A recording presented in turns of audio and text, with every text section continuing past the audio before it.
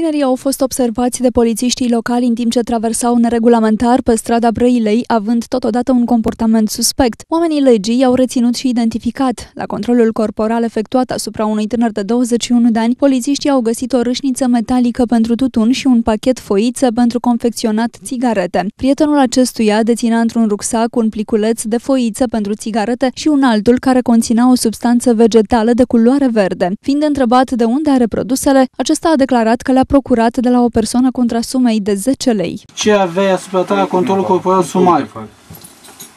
Ce aveam niște droguri. Niște droguri și unde ai fost depistat? Pe strada Brăile, da? Da. Și trebuie să înapoiezi. De unde le-ai achiziționat? Nu știu, mi-a dat un băiat, nu am găsit. Ți-a dat gratuit? Nu. Cu ce sumă? 10 de 10 lei? Consum des? Ce le-am văzut la perimetru? Nu, chiar.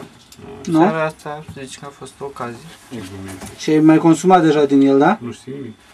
Nici nu știi unde ești acum. Da, am- Împreună cu prietenii tăi Unde ești acum? cu care ai fost depistat? Împreună cu prietenii tăi cu care ai fost nu, că depistat? abia m-am găsit.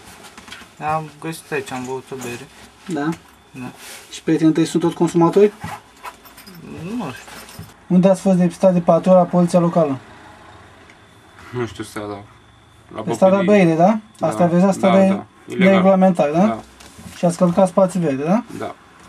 Și când ați fost controlat sumar de către agenții la poliția locală, ce a fost găsit spre dumneavoastră? Un grinder care nu mi-aparține. În ce? Un grinder. Mai explicit? Un O grinder. rișniță ce se folosește pentru măcinarea ierburilor, da? Da, etno botanic. Și o cutiuță cu foiță, da? Da. La ce le foloseați? Și consumăm etno botanici. Împreună cu prietenul dumneavoastră? La Da. controlul corporal efectuat asupra lui ce s-a găsit? Nu mă țin minte. Acum, când a fost făcut, ce s-a găsit? Nu știu. Un pliculeț cu Ah, iarbă în el, da? cu etno botanici.